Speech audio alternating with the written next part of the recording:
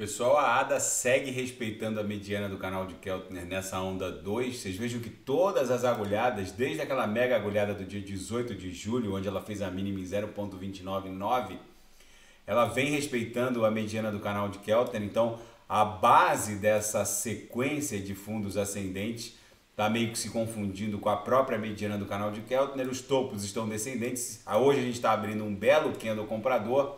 Isso aqui claramente é uma onda 2 que vai em algum momento explodir uma onda 3 em direção a um patamar acima de 0,40. Como a onda 1 teve essa dimensão, é muito provável que a onda 3 guarde uma dimensão proporcional e vai levar a ADA a 0,40, no mínimo. Na projeção, a bela nebulosidade esverdeada segue bastante espessa, o que denota que os compradores estão totalmente no controle da Cardano. A linha superior e a mediana do canal de Keltner já estão acima da nuvem. A inferior já iniciou o cruzamento. Daqui a pouco eu volto, vou fazer XRP, Binance Coin. Deixa eu ver quem que está corrigindo muito ou, ou, ou, subindo muito. A maioria das altcoins estão ali entre menos 1 e menos 2%, justamente porque a BTC está muito lateralizada.